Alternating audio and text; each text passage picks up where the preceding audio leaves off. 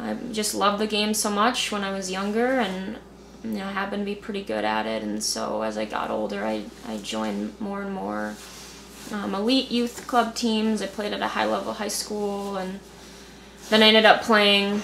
Um, for two years at the University of Florida and and, uh, and then three years um, here in Minnesota and so um, and what happened for me over that time was I always kind of had in my head you know I I want to be a professional soccer player and then I was like well I was conscious of the idea that well um, soccer careers athletic careers kind of end earlier than most and and so I'll need a I'll need a plan B. I'll need a second career after that. And so it was just as a young kid who's just so in love with this game, I was like, okay, well, so then I'll then I'll just be a coach.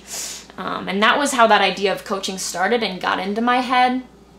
And then I went to um, university, you know, university and studied sports psychology. I set up my academics around the idea of coaching uh, because I knew that's what I wanted to get into. And as I was taking this first sports psych course um, and learning about kind of best practices for optimal performance or for you know for positive experiences through sport um, it started to hit me and all these memories and stories of my own playing days uh, growing up or or you know currently in college how some of these things that i was learning about about best teaching practice or best group dynamic practice um, optimal how to cultivate optimal performance weren't sometimes they would line up with what I experienced as an athlete and sometimes they wouldn't. And so that really kind of sparked that curiosity for me of like, oh, coaching is an is a is an art and it's a science. And how do we how do we show up and coach um,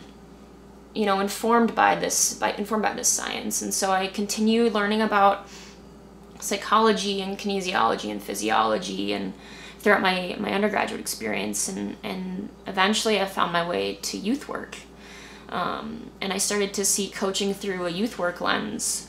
Um, and really just kind of um, analyzing and, and reliving the stories and memories of my playing experiences um, and, and then reading those experiences through that, that youth work lens of what I'm learning in my youth work coursework and, and how and then just constantly um, as a player when I'm at practice, and then right because I was so as a student athlete, still my last year of, of um, graduate school, so I was playing, I was coaching on the side, and then I was studying. Um, so all of these things in tandem allowed me to just constantly be analyzing and refining and learning um, in questioning really just always questioning and searching for for more knowledge around the idea of like how do we as coaches um, influence young people? How do we develop young people? How do we create healthy environments? Um, for young people to learn about themselves and about others and about the community and the world at large um, and and there's you know if you look at the statistics um, more young people play play sport um, than any other outside of school activity. There's like 45 million kids who, who engage in sport in the United States. Um, and so, so coaches have such a fantastic youth work opportunity. Um, and, and I just really began to question and, and wonder like how many coaches think about coaching as youth work. Um, do we think about coaching as uh, purely about about executing physical skills and about winning, or do we think about it as an opportunity to mentor? Um, and how how would kids' experiences shift? How would um, sport environments shift? How would the relationships between adults and young people shift if we did think about it from a youth work perspective? Uh, so really, just all of these questions. Um, through my coursework and my playing experience began to kind of grow in my mind and and so I couldn't I couldn't get away from it. I couldn't get enough of it, and I I just kind of couldn't help myself but pursue coaching um, and pursue the idea that and take on the identity and and um, idea that I am a youth work coach and I want to execute my job as a youth work coach. And what does that mean? You know, right now I coach at various different levels. I've coached anywhere from five five year olds to uh, through through college. Um, and I, I really just eat it up and love it every day and, and I'm always thinking about um, how do I show up in a moral, morally responsible, socially responsible way with these young people, and how do we together, me and the young people together, craft and create um, our environment that helps us both grow and learn. Great. Um, I've learned from student athletes over a lot of years that sports are different, which I guess shouldn't surprise anybody who plays, but does kind of surprise me. That sure. And and so basketball players have have definite attitudes about football players and swimmers sure. and soccer players and, and people can describe for me that it's a whole different mindset in a different sport. Can you tell us about soccer and what what's what's distinctive about soccer for for a player? Yeah, gosh, yeah. I love different sports. Certainly have different unique um, characteristics and different cultures, and um, and I can tell you about about soccer. But I think even within that, my my niche world is is girls soccer, women's soccer, and so I'll explore that probably more in depth. Um, so there's a there's a few different unique things um, with soccer, and I guess I'll start with the idea that um, it's a free flowing game, right? So there's no um, contrary to, to for example your football, there's no kind of like succession of set plays, and um, and there's also no timeouts, and so I think for for me as a as a as a youth work coach from that perspective what that does is it really hands over the ownership and the decision making in those moments to the players, um, to the young people. Uh, and sometimes, right, um, when I go to when I go coach at tournaments, you know, there's a lot of big, massive field complexes where there's just games going on everywhere, and so a lot of times in those situations, what I like to do is to to watch coaches and see how they um, how they carry themselves or how they embody um, the role of coach on the sideline. And and there's some coaches you see them almost kind of like acting as puppeteers right? So they're trying to um, they're trying to make the decisions for their players in real time on the field. Or, or i've heard it described as kind of like joystick coaching so it's almost like you're playing a video game and you can you can kind of will the players to move exactly where you want. Um, and and that to me is fascinating because what i've noticed young people, players do um, as a reaction to that is it, it almost is like you can visually see them almost turn their own brains off and instead of critically thinking for themselves and solving problems and making decisions for themselves they start to think what does that coach want me to do? Um, and I've, I've seen players in the middle of a game in real time when the ball is right there around them instead of focusing on the ball and their teammates they I've seen players physically turn their heads to their coach and say what like what do you want me to do? Right um, so to me that's fascinating right? Because at, from from a youth work perspective um, games are opportunities where where the kids go out there and they they make decisions and they try things and they explore and they experiment on their own.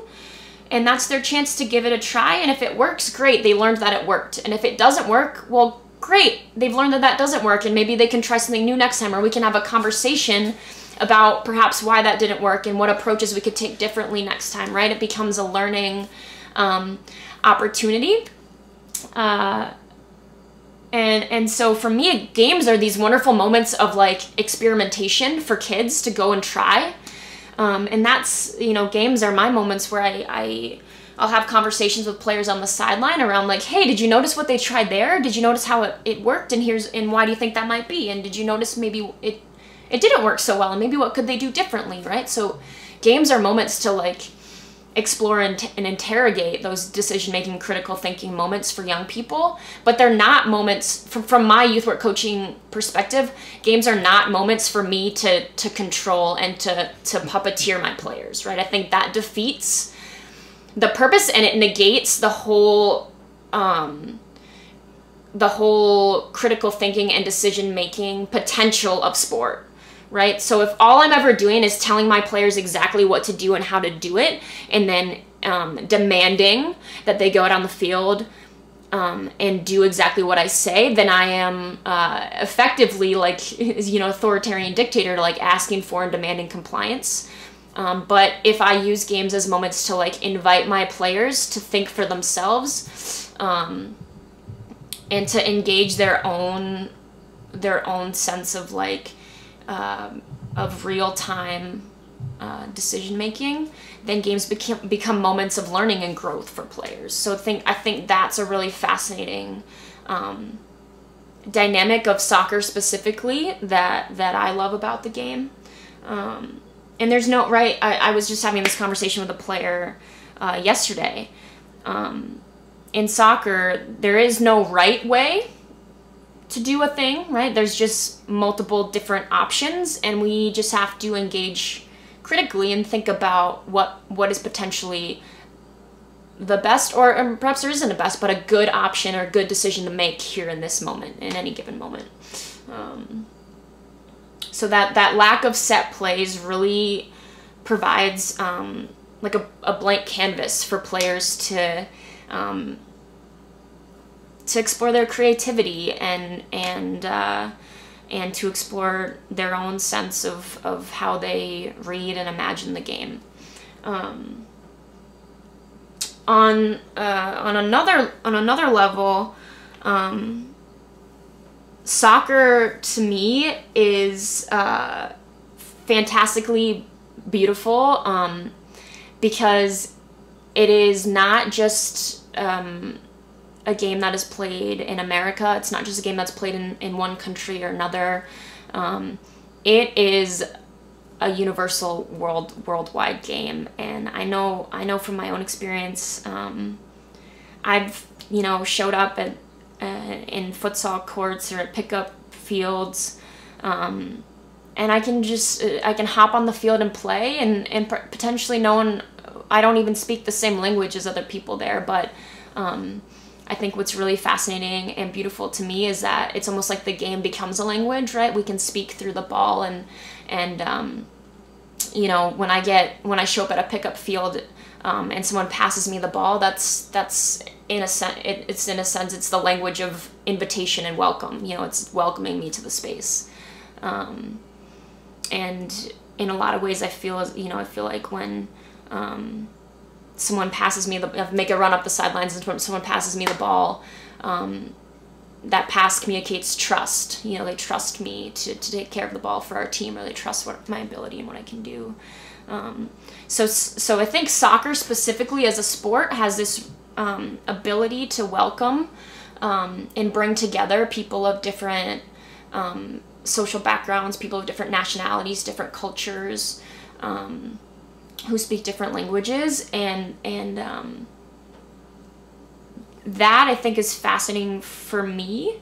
Um, but but when I read girls and women's soccer specifically in the United States, um, and this is something I've been thinking about and exploring a lot more recently, it's uh, those different pockets and spaces of play don't often intermix and come together, right? So, for example, um, there I, I since you know living here in Minnesota I've been invited to play um, in a Latina league on Sundays. And I show up and um, it's a beautiful wonderful uh, community of, of Latina women who get together and play.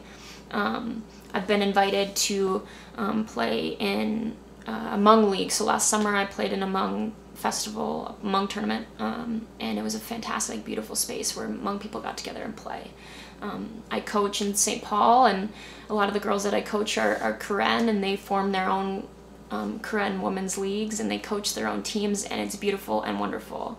Um, and then it, when you venture, you know, more away from the city and into the suburbs, um, there's a lot of uh, suburban club teams. Um, and those spaces are often predominantly predominantly white spaces and and you know suburban white uh, girls soccer um, and and I think something that I'm interested in exploring is how do we um, how how do we envision soccer as like a third space, like a social space where um, different people of different backgrounds can come together um, and speak this common language of the ball, and and through that like get to know each other a little a little better, and what is the power in that. Um, you know, I I would argue that just kind of in our daily lives, those those spaces don't happen so much anymore, where um, we meet in a in a public common public space with with people of different um, experience and background than us, and, and I'd argue that sport can and and, and that so- that sport and that soccer specifically can be a really beautiful space for that, but only if we if we um, think if only if we act intentionally and think of soccer as that space and then like intentionally make those those things happen. Um, but for example, this this past season, um, coaching at Como, uh, you know, a good chunk of my team is is a Karen girls. A good chunk of my team, um, a couple uh, Latina girls. I had a couple white girls. And at the end of the season, we we met in a circle, and I had them think on and reflect for a few moments, just the idea of like what what did this season mean to you, and um, came to this one young woman on our team. Uh, her name is Ruby, and and she said coming into the season, I thought the season was going to be about me getting better as a soccer player. And then she said, and, and I did do that.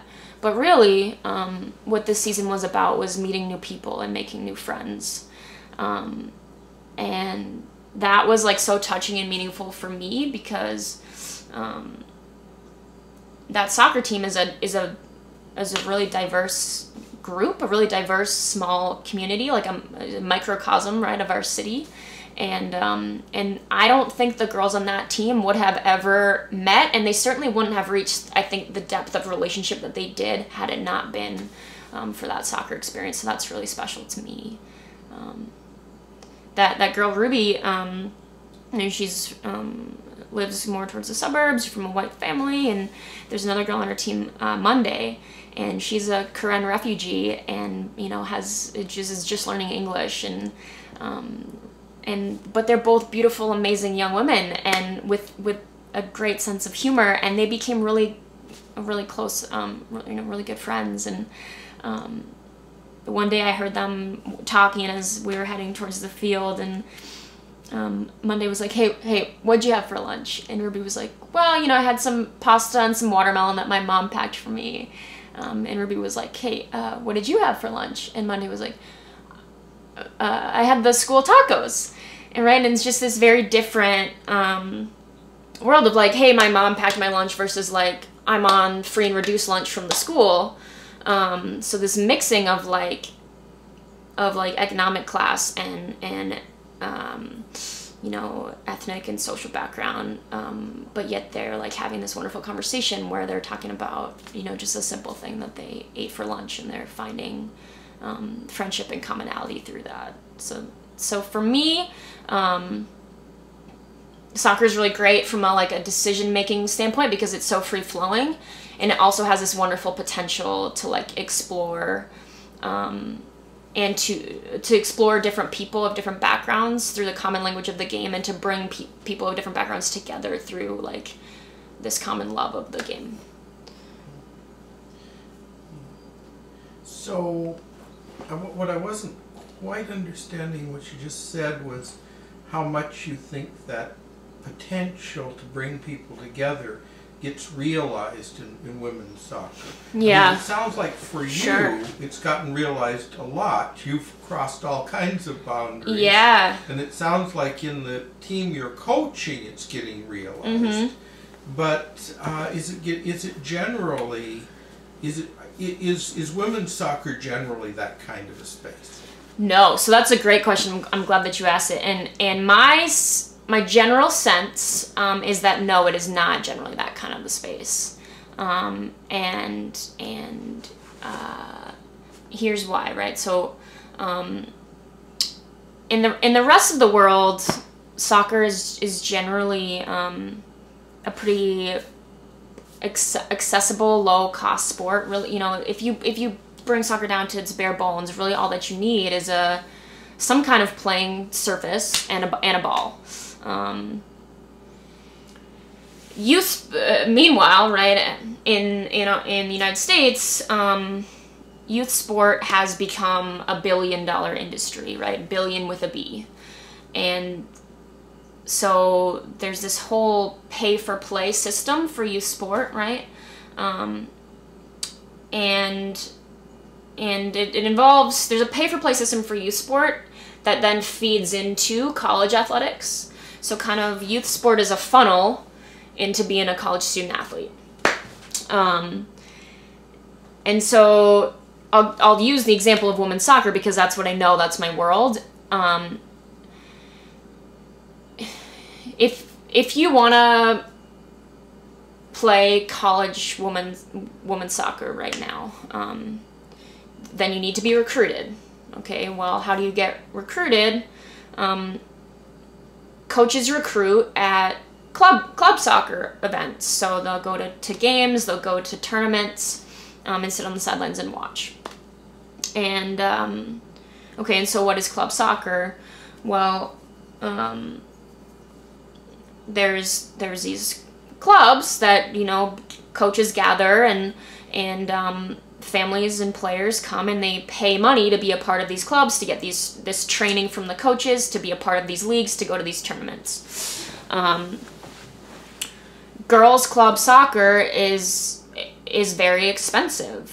Um, it's it costs thousands of dollars a year to be on a, a girls youth club soccer team and then thousands of dollars a year plus plus um, your parents have to be able to devote the time to transport you to practice. They have to have a car to transport you to practice. They have to have money to pay for the gas to practice. Um, you need to be able to afford cleats and shin guards. There's all these added costs. Youth youth sport youth soccer girls youth soccer specifically gets very costly. Um, and often these clubs are are based out of suburbs. Um, not always, but often. And so, um, right, right, economic class and, and race get, you know, are, are, are intertwined and intersectional, um, you know, in America. And so, and, and so is, right, uh, geographic location. And so often these youth girls club soccer organizations um, are out of suburbs they're costly and um, they're based out of predominantly white areas. And so um, often lower income girls who live in the city, girls of color, uh, and um, you know wealthier girls who live in suburbs who are predominantly white, they play in really different spaces. So suburban girls play on club teams. Um, often these lower income city girls, girls of color, and obviously all of those things don't always go together, right? But but often they do.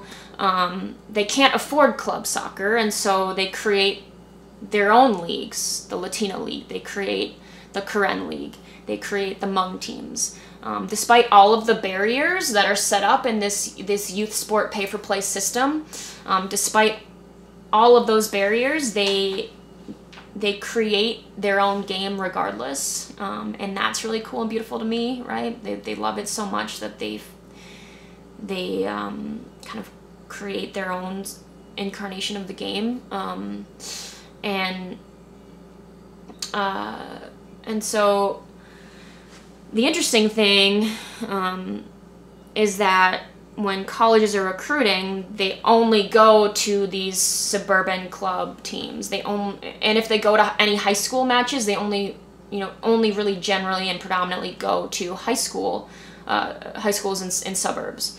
And so what's happening is girls who play in the city on their own teams in their own tournaments that they've organized themselves. Um, they're outside of this funnel into college sport and um, and the system of youth sport, the system of pay for play, doesn't even know that they exist.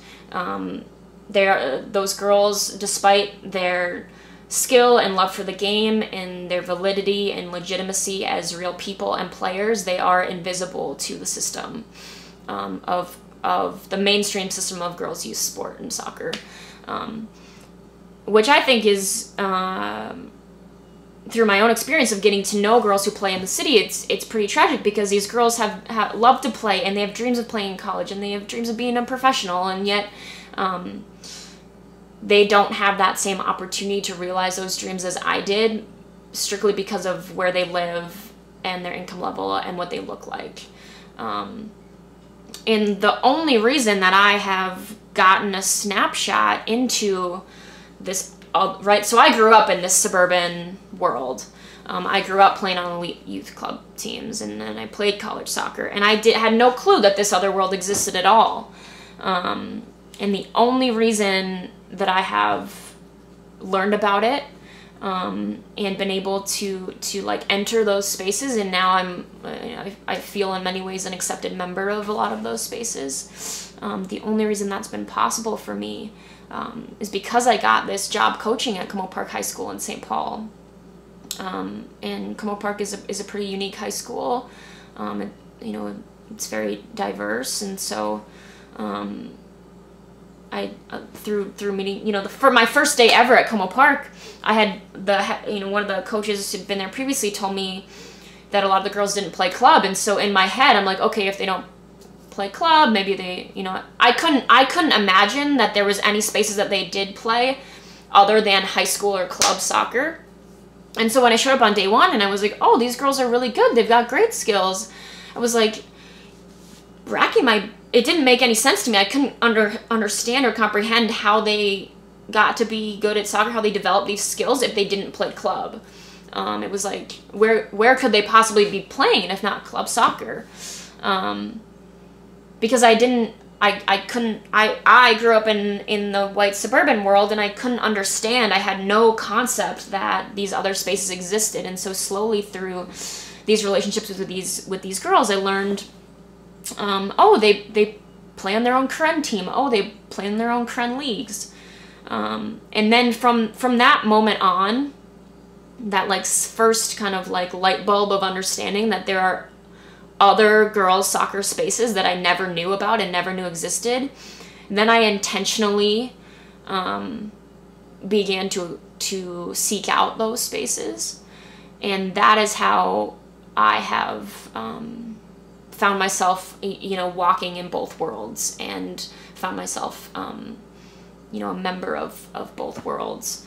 And and now um, that's why I'm I'm hoping and trying to take on um, this new this new kind of challenge or, or experiment or idea of like how can we mix those worlds and bring them together. Um, so, for example, right now I'm coaching at a club um, out out in the suburbs, and I'm still coaching those girls in St. Paul City, and I'm I'm really trying to brainstorm and find ways to bring those two groups of girls together to play. Um, because they, they have that common love and language of the game. Um, but in a lot of ways, they have really different backgrounds. And I think if they just get to know each other through the game and learn about one another, um, it could be really a really cool and amazing experience. Um, just like me learning about these these um, girls soccer spaces that I didn't know about before has been really cool and amazing uh, for me. Well, as somebody didn't have kids playing soccer and never played it myself. And in any case, my, my athletic context is from high school in the 60s, which is a different game. Yeah. Uh, I guess got to get straight how it is for these kids. So they're playing, like for you, yeah. you were playing on a high school team, mm-hmm. right? Yep. But then you were also doing the club thing yes. parallel. Yes. And how many hours a week were you playing between you know during during season? Yeah. Um gosh, every every every day. I mean, if I had a day off from soccer, it was rare. Um, how many hours? At best, day? it was a one one hour off a day, and um, and so it was generally, you know, probably two hours a, a day. Um, but then as I got older, I would add on to that lifting or or conditioning. Um, so uh, at most um, So you would put in maybe like a f- five hour day. Or, or if you go to camps over the summer, those are, are literally all day long, a six hour day. Um, but but yeah, so for high school season, you know, it'd be two hours of practice every day after school, practice on weekends, um, and games, and then throughout the winter, it would be indoor practices, practices in gyms and in domes on indoor turf fields, um, and then in the spring, it's it's practice uh, outdoors on grass every day for your club team, and then throughout the summer. Um, I went to so- summer soccer camps every, every single week, and so that was every week of the summer, like you know, six hours a day of of soccer. Uh, and then when you get to college, um, you're technically in season. You're given like twenty hours a week that you're allowed to to devote to soccer. Off season is a little bit less.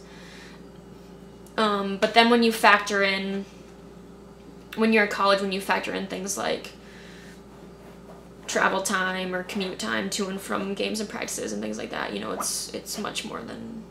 And when you factor in sometimes lifts go longer than you think, or or you know, we're always doing extra practice on our own, or when you factor in. Um, uh, uh, regeneration and, and rehab time from injuries and things like that, we're, we're putting in much more than 20 hours a week uh, devoted towards being a soccer player. So, is it fair to say that from the time you started in high school, there an average of ten hours a week through the year would be reasonable? Yeah, yeah, an average of ten hours a week uh, at the at minimum, I would say. And then when you got to college, that went up to something like twenty-five hours a week. Yeah, I mean, I, I think that's fair to say.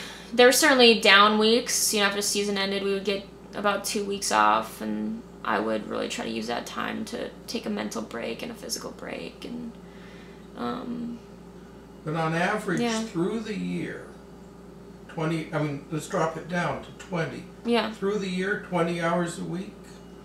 Reasonable? I I think that's, I think that's a fair and reasonable thing to say. Yeah, especially if you include things like, you know, watching video or, um, or doing any kind of rehab or body body regeneration work, stretching and whatnot. Yeah, absolutely. And now I also want to get the, the picture of how this club thing works. In sure. other words, if you're taking if you're a high school soccer player and you did it the way I went out for wrestling, which is you go, you practice when the wrestling team practices, and then you go home and you forget about it. Uh, you got you know however many hours there is are a week during the. It what does the club stuff like double that or? Yeah. So um, generally, high school season is generally like three months. Uh, club doesn't generally do anything during those three months, but oh, club will operate the rest of the year. Okay, so it's a, it allows you to play soccer year round. Yes. Whereas the high school will only invest in soccer for three months. Three months, and then Correct. otherwise, is there anything, any way within the high school system, if you don't have money for club stuff, is there any way to keep going uh, for you know in some way over the rest of the year?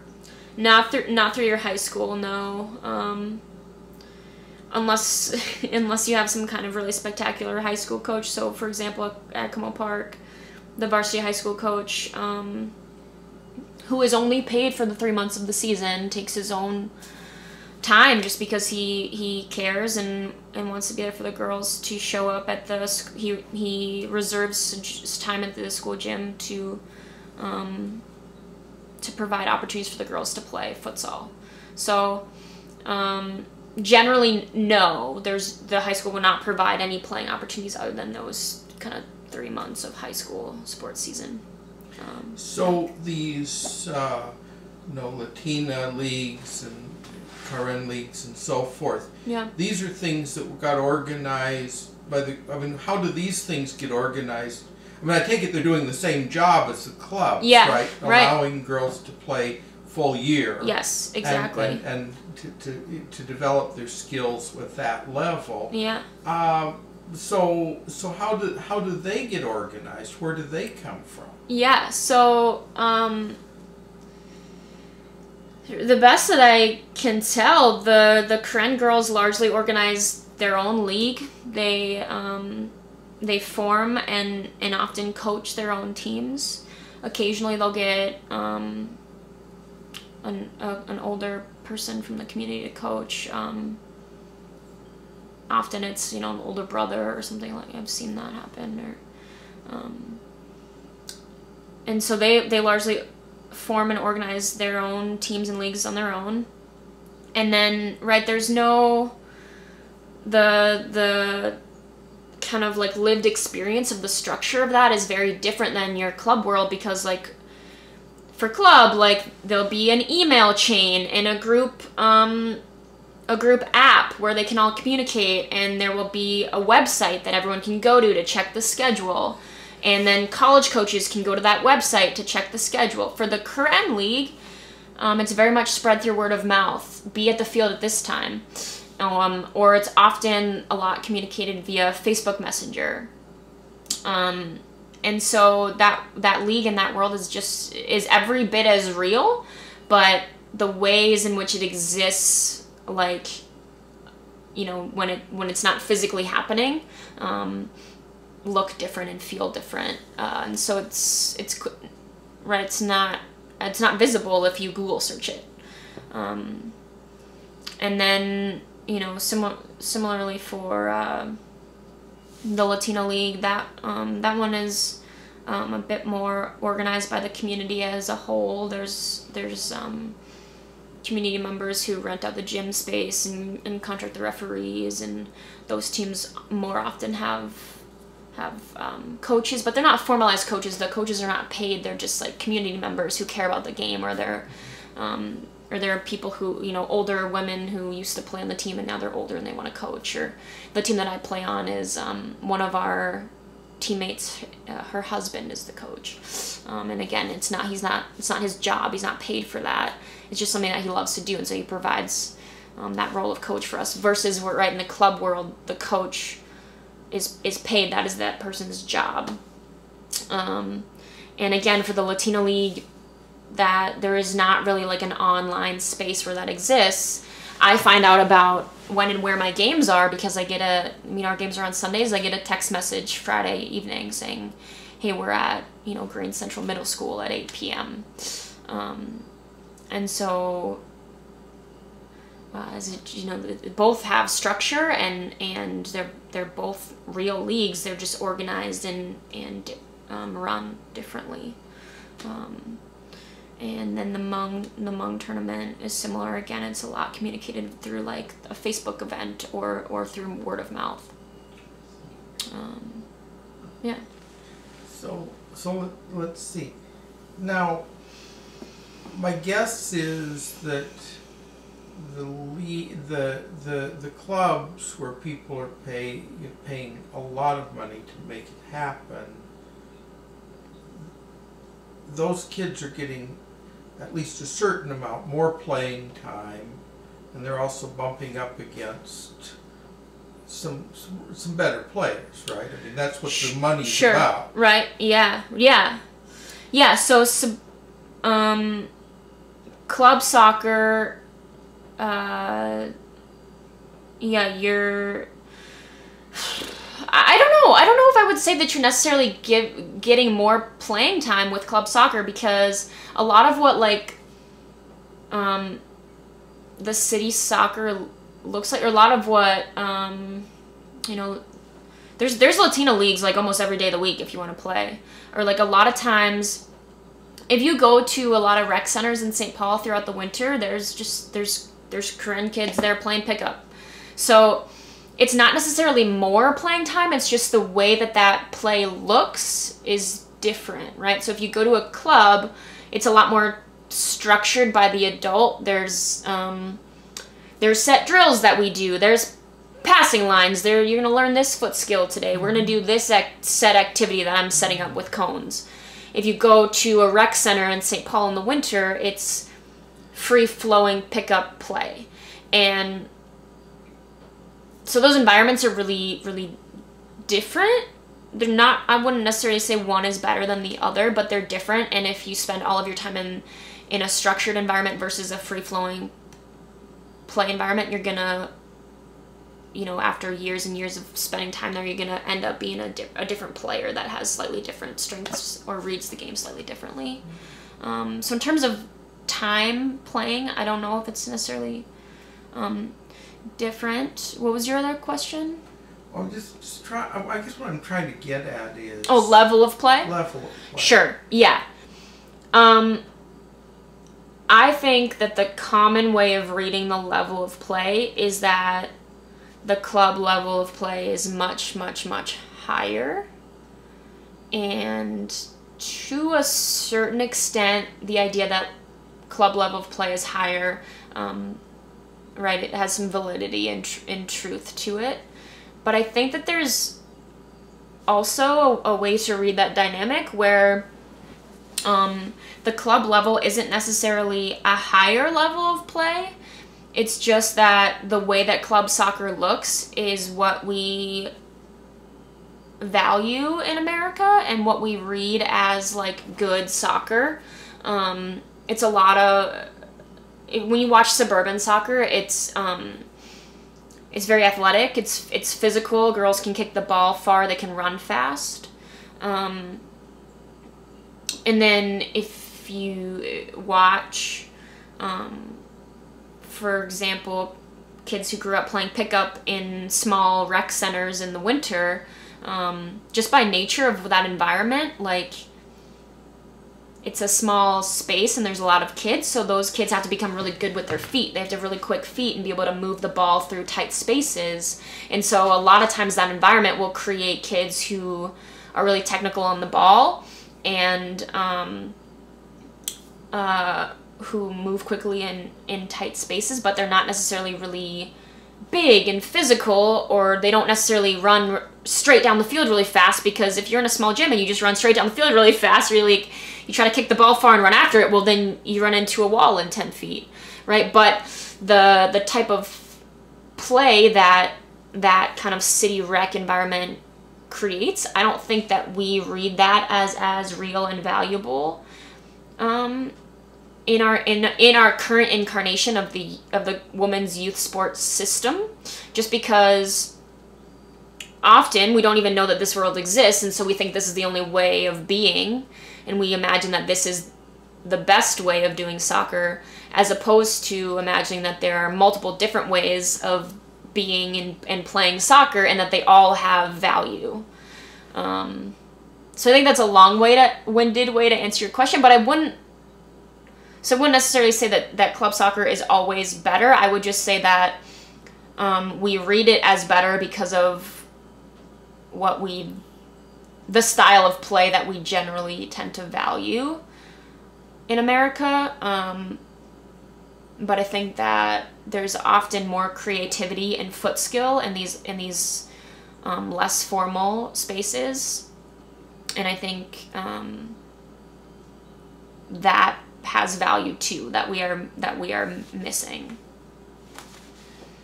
So you've had experience here. What happens when somebody who's mostly familiar with the club system Yeah, plays with people who are do have done the small gym? yeah.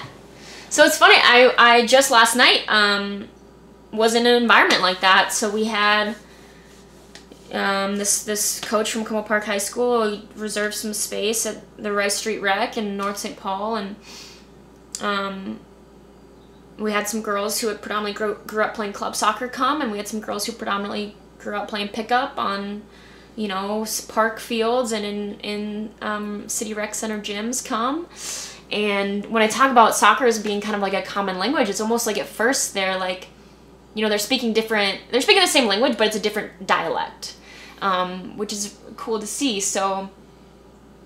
Um, the kids who grew up playing club will be more physical on the ball and they'll be able to push the other kids off the ball a bit better or they'll um, they'll read the field more like linearly like straight up and down um, and they'll just want to like go more directly straight at the goal and then the kids who grew up playing a lot of, of pickup and couldn't afford club club soccer kind of thing. Um, they'll be really really quick and tight on the ball and they'll look for shorter passes as opposed to longer passes but but eventually i think they learned from each other. Um, when you see someone else do a really cool foot skill sequence right you can learn you learn from that. And then when you see someone else be able to shield the ball shield and protect the ball with their body and be pretty kind of physical like you can learn from that. And so i think um, when those from a from a pure soccer development perspective, when those kind of players come together, um, the the cool and effective skills that shine through in a more in a more club environment, um, the kids who've played more rec pickup can learn and who can, haven't really been able to have access to that club space can learn from from the the cool skills from that environment. And and the girls who've played a lot of suburban club soccer and haven't really understood or known that this world of um, kind of cultural city leagues um, or, or rec center pickup exists, they see and learn from the really cool things that these kids, kids do. And so even from a from a skill development perspective, when you play with people who play differently than you do, um, it helps you learn for sure. So what what's it like as a coach? I mean, what kind, what do you do as a coach? Yeah. To help people adapt to this mixed world. Mm-hmm. Yeah. I think um, potentially the most important thing that we do, and it's and it it's I think it's pretty simple, but I think it's pretty important, is we um, try to set a tone of um, experimentation and and joy, right? So it's it's important that it be understood in a shared common value that it's it's okay and and not only okay but encouraged to try something new um, even if you mess up. And if you mess up like you tried it and we're gonna laugh about it and then you're gonna try it again.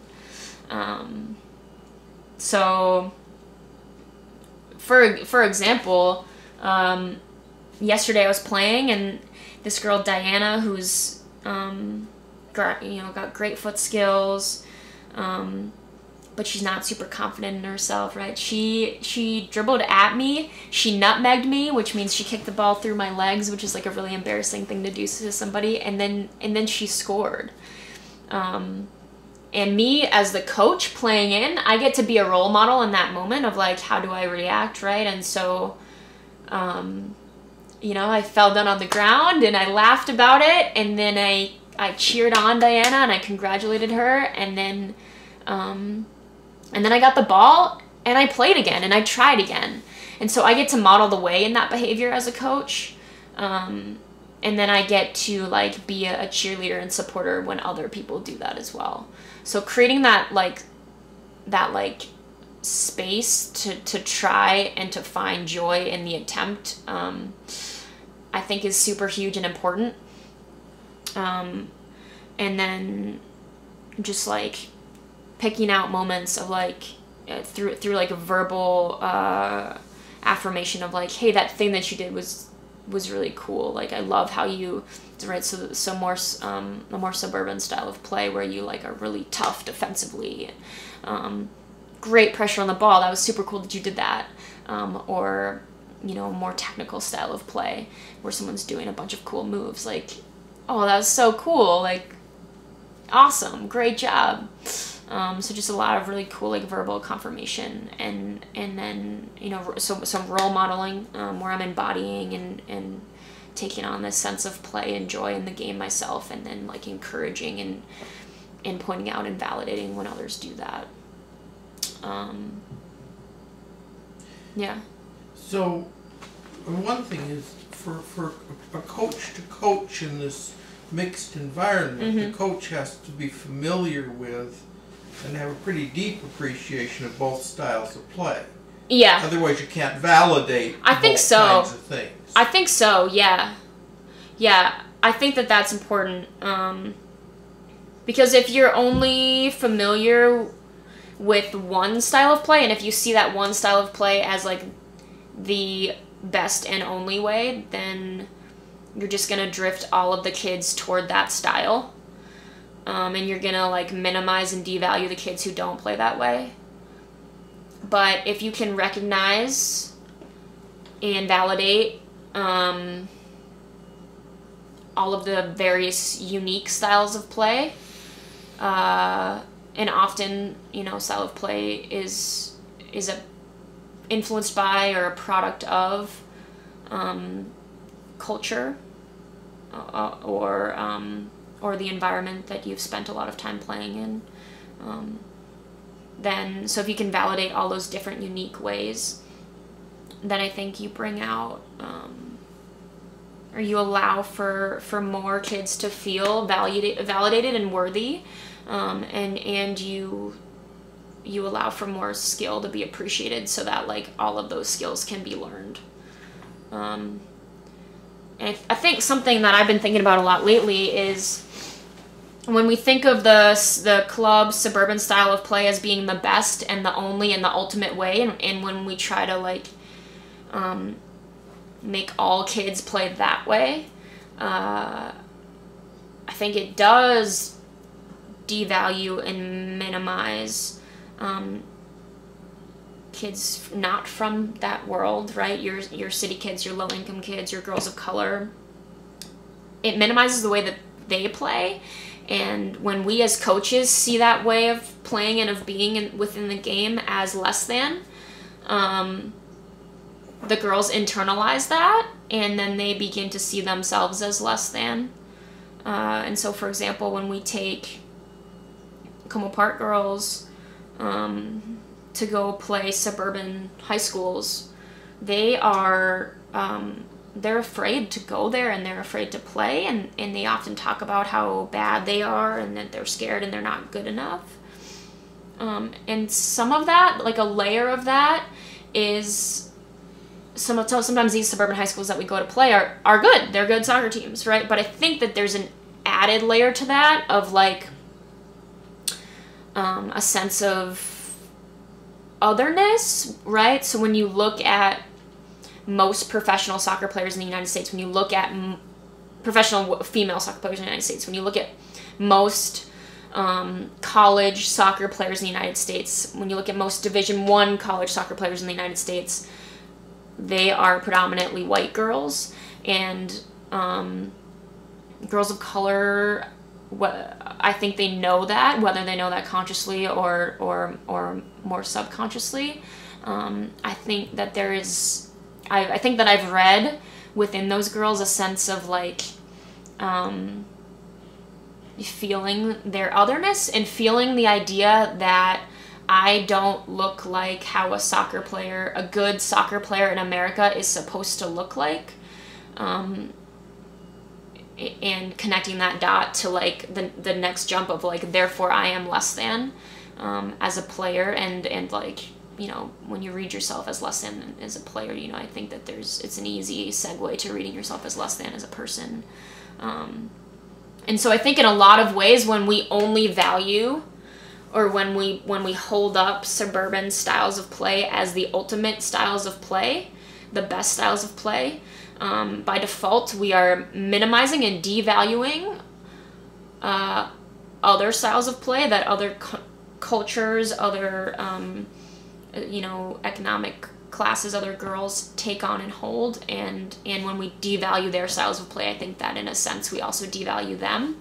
And i think that those girls um, can feel that and can read that and that it influences how they think about themselves. Um, you know so so many of the girls that I've met who live in St. Paul are are they've got fantastic skills, but they tell me all the time that they're not good at soccer, um, that they're not good enough, and um, and it's you know it's really it's really been fascinating to hear their own takes of themselves. Mm.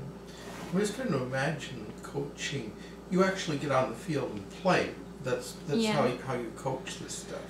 Yeah, so sometimes I'm sometimes I'm I'm more um, removed. I, I direct from from outside of their play, um, but sometimes I jump in and I play with, uh, and I think I think uh, that's important for a couple different reasons. Um, one, I kind of already touched on that idea of like I get to model the way, um, and I find a lot of joy through playing, and I I take on a really playful um, persona. I really I really um, kind of act kind of like I don't know kid like and celebratory through my play.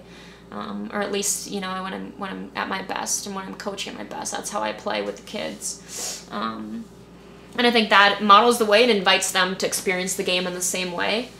Um, but I think there's also a really important element to continuing to play as a coach because then you get to um, remember and you get to feel uh, how hard it is and how um, you know, as a soccer player, like you're always gonna make mistakes. You're always gonna give the ball away to the other team. You're always gonna accidentally dribble out of bounds. And so when I keep playing myself, um, I remember or, I get to maintain that sense of like how hard it is, and it, and so then it, I, it, I'm not as um, quick to jump to. Um, yelling at my kids to why are why aren't you playing better? You need to you know this isn't good enough. Um, or uh, you know I can have a sense of like empathy when a when a player or young person is having a really hard time learning a skill because I I, I can remember um, how hard that skill is to do because I, I do it.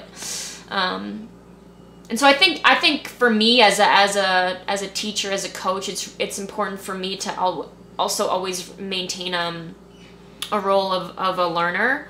Um, and and so I do that through soccer. I continue to play play and I t- and, and experience that role of learner through soccer.